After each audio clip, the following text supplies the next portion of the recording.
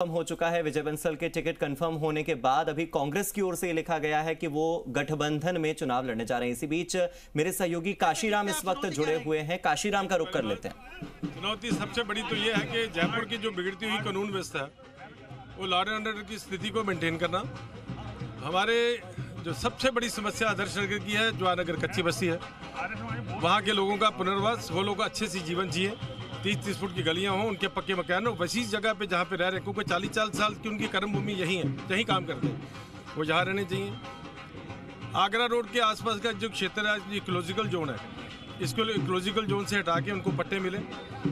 गोविंद मार्ग हमारी सबसे बड़ी समस्या दर्शकों के लिए, महीने में लगभग 15 से 20 मर्डर होते हैं। वो एक्सीडेंट नहीं मैं कहता है वो मर्डर होते हैं। कि कोई पार्क में जा रहा है कोई मंदिर में जा रहा है कोई कोई सारी शिक्षण संस्थाएँ स्कूल गुरुद्वारे मंदिर वही हैं।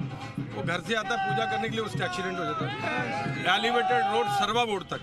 ये तीन बड़ी समस्या बाकी तो चुटकी के काम है वो तो हो जाएँगे। समाज सेवा के रूप में समाज सेवा आप करते रहे शुरू से बहुत बड़ी पहचान आपकी रही है समाज सेवी के रूप में।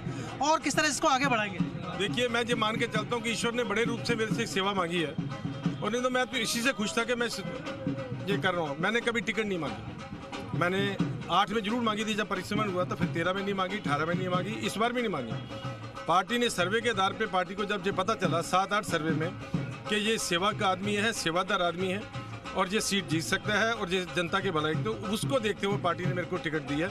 मैं पार्टी के प्रदेश नेतृत्व और राष्ट्रीय नेतृत्व का बहुत बहुत आभारी हूँ, और ईश्वर से प्रार्थना करता हूँ कि प्रदेश नेतृत्व और राष्ट्रीय नेतृत्व ने मेरे से जो अपेक्षा रखी है कि मैं लोगों की सेवा कर सकूँ, यहाँ की लॉ एंड ऑर्डर की प्रति अपने सचेत रहूँ, कोई गुंडागर्दी नहीं कर सके।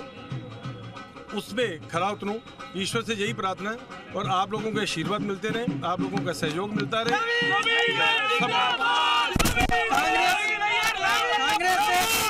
रफीक खान जो है, वो कह रहे हैं कि हमने काम बहुत किए हैं। तो रफीक खान के कामों को लेकर किस तरह की चुनौती आप पर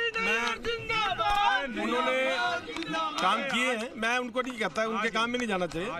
आज क्योंकि सिंबल मिला है। अपन काम करेंगे तो लोग उसका सोचेंगे कि वो काम कैसे थे और ये काम कैसे ये आपको पता चलेगा। तो भी लेकिन जनता की आवाज़ पाँच साल आदर्श नगर से अब की बार पाँच साल बाद जब मैं काम करूँ लोग कहें आप ऑफ़िस से निकलोगे तो आपको हमारी कसम हम जिता के लाएँगे। हाँ। काम ऐसे होने चाहिए। जी का टिकट कटा है तो उनसे कोई नाराज़गी तो भरतपुर से विजय बंस